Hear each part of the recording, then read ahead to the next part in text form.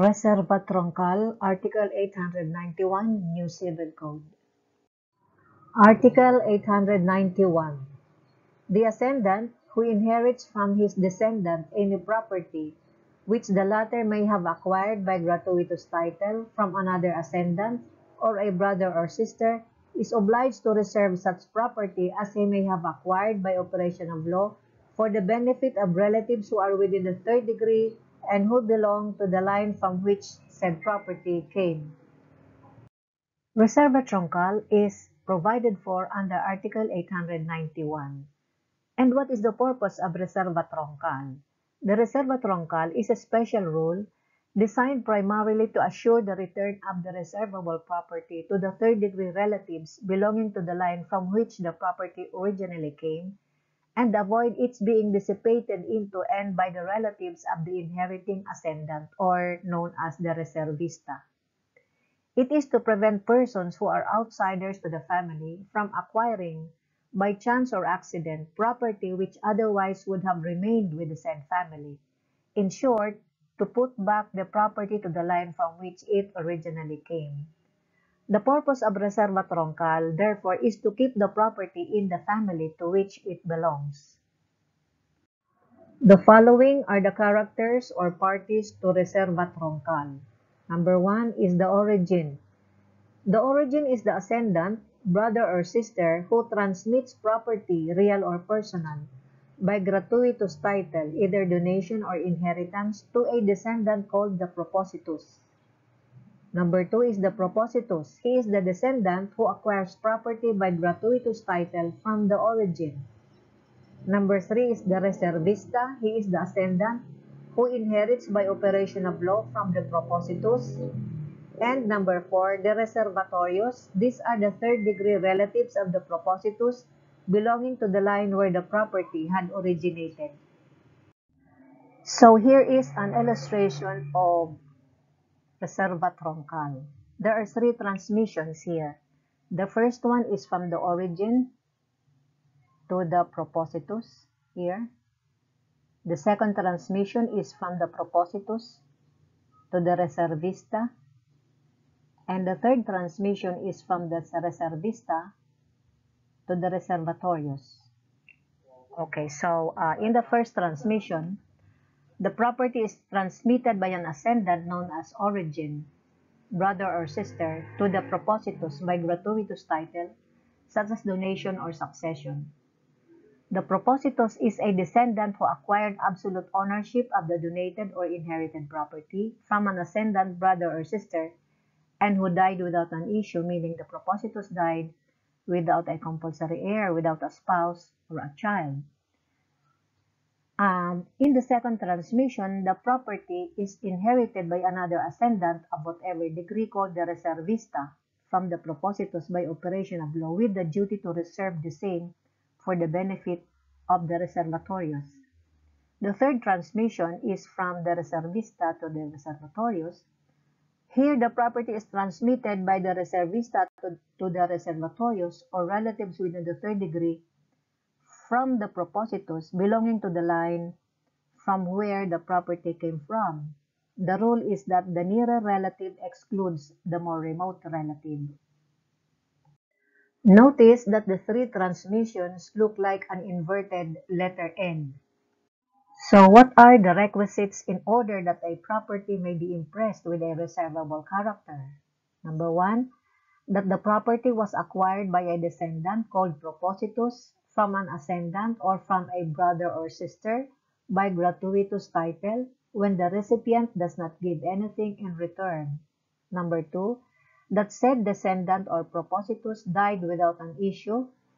Number three, that the same property called reserva is inherited by another ascendant called reservista by operation of law, either through intestate or compulsory succession from the propositus. And number four, that there are living relatives within the third degree counted from the propositus and belonging to the same line from where the property originally came, called reservatarios.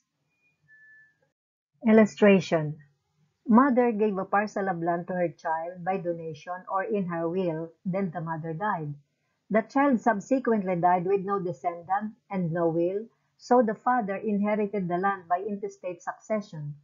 The father owns the land only until he dies. The land is reserved by law in favor of the relatives of the mother within the third degree from the child who are known as the reservees or reservatorios. In this particular case, the reservees or reservatorios within the third degree from the propositors are any of the following. 1. Maternal half-brothers and half-sisters who are second-degree relatives. 2. Maternal half-nephews and half-nieces who are third-degree relatives. 3. Maternal grandparents who are second-degree relatives. 4. Maternal great-grandparents who are third-degree relatives. And 5. Maternal aunts and uncles who are third-degree relatives.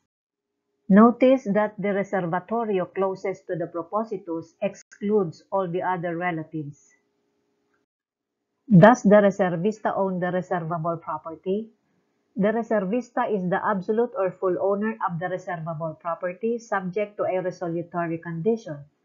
If at the time of the reservista's death there should exist relatives within the third degree of the propositus and belonging to the line from which the property came, the property passes on to said reservatorio. Note that the reservable property is not part of the estate of the reservista.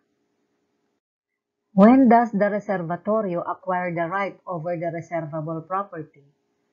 Upon the death of the reservista, the reservatorio nearest to the decedent propositus becomes automatically and by operation of law the absolute owner of the reservable property. Is there a right of representation in reserva troncal? Yes, there is representation in reserva troncal, but the representative must also be within the third degree from the propositus. Illustration. The mother dies intestate, leaving a car to her son. Later, the son dies intestate with no issue, meaning no spouse or children. What happens to the property? The father inherits the car by intestate succession. The car is reservable. Assuming that the father does not dispose of the car during his lifetime, upon his death, Said car passes to the reservatorio nearest in degree to the propositus within the third civil degree. There is no reserva troncal if the child gives the property to his father in a will out of the free portion of his estate. Hence, said property cannot be used to pay the debts of the reservista's estate because it is not part of his estate after his death. Reserva maxima and reserva minima explained. A received from his mother 200,000 under her will. He also had properties of his own worth 400,000. When the son died without issue, his father inherited his estate worth 600,000. How much is the reservable property? The legitim of the father in his son's estate is 300,000, equivalent to one half of the 600,000 total estate.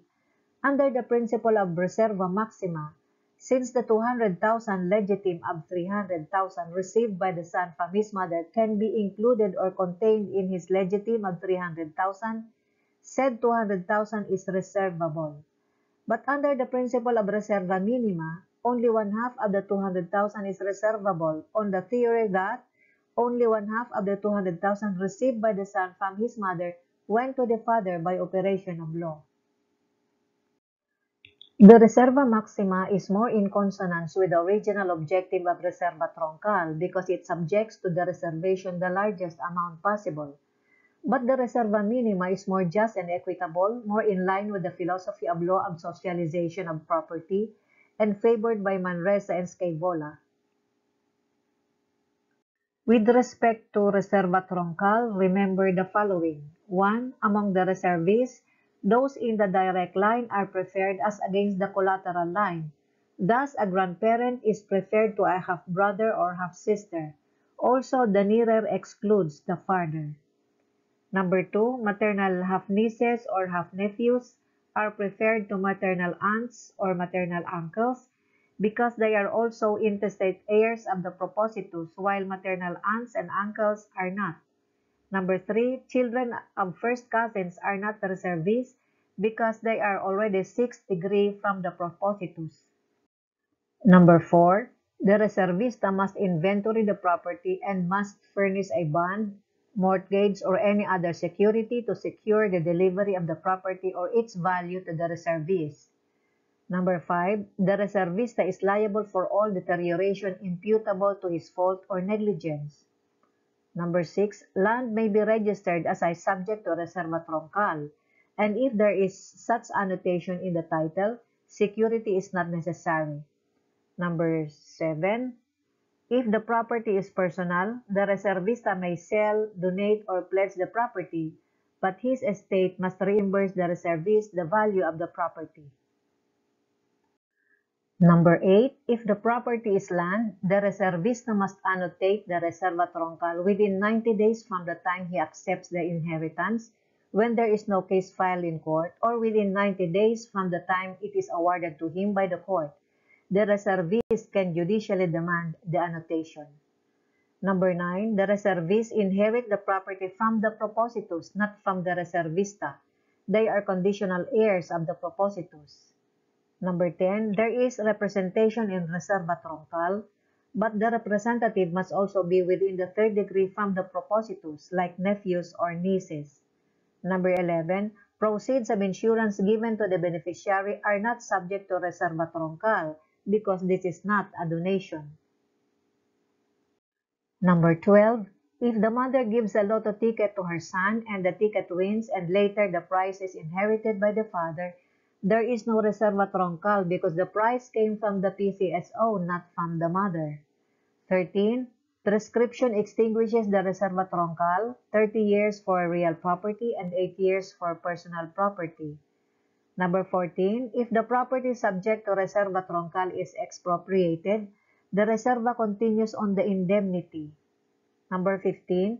If the property is insured and later destroyed, the reserva continues and the insurance proceeds. And number 16, reserva troncal exists only in the legitimate family.